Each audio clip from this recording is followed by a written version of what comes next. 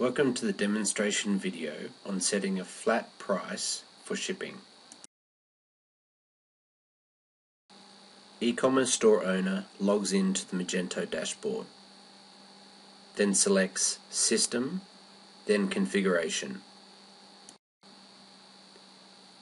On the left hand side, scroll down the menu until you see Temando Settings.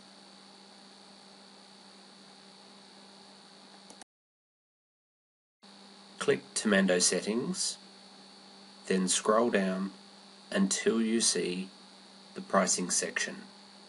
Within the Pricing section, simply select Fixed Price or Flat Rate.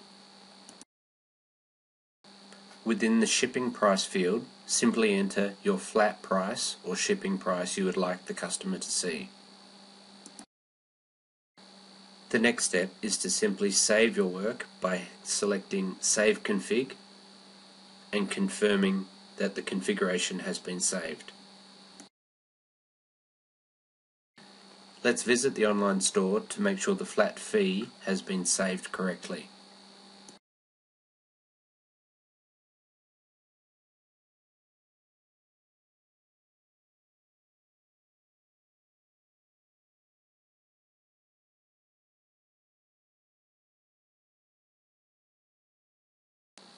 Perfect, flat rate is now applied to the shopping cart.